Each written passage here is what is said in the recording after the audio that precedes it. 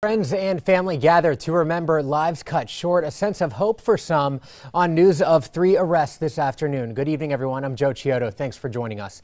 Happening locally live at 5, new developments in Omaha's latest homicide investigation. We've been following this case. Two teenagers were gunned down outside the Ernie Chambers apartments. That's near 16th and Burdette. This was back on Wednesday. Now today, three teenagers are behind bars. The youngest is Quavassier Sims. He is just 15 years old, charged with first degree murder.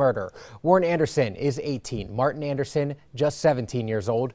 The cousins are charged with accessory to commit a felony. Our Erin Murray is at a prayer vigil right now at that scene. She continues our coverage live. Hey, Erin.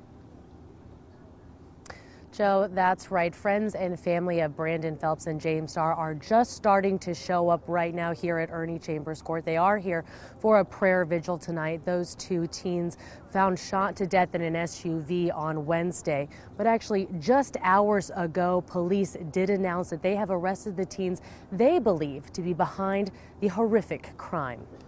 Omaha police detectives worked 48 hours straight, but they believe they now have in custody the people who killed teenagers James Starr and Brandon Phelps.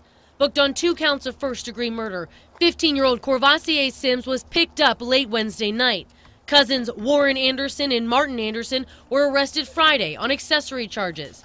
But a twist in the case may bring about more information on another homicide. Homicide detectives have determined that the Ford Explorer recovered in this homicide is the same vehicle that was involved in the homicide of Jonathan Johnson on November 28, 2015 at 44th and Spaulding.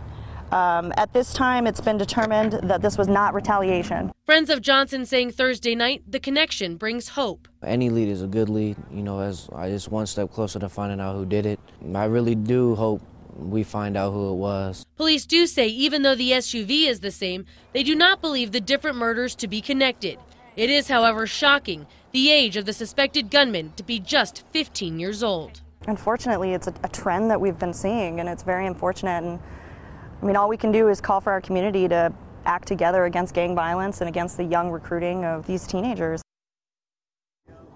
Now, right now, Sims is being charged as an adult. That is because under the new Nebraska law, he is not required to be charged as a juvenile. That would be for anyone 14 years and younger. But, Joe, that doesn't mean that those adult charges couldn't change depending on court proceedings and evaluations. Yeah, certainly they still could change. My question uh, they talked about the relation to that November 28th murder of Jonathan Johnson. Wondering, are there any new leads after this? Could there be arrests because of these new developments?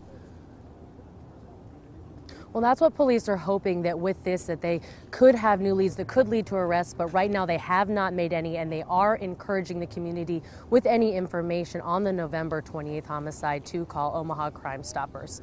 All right, we'll continue to stay on top of this. Erin Murray reporting live tonight. Erin, thank you very much.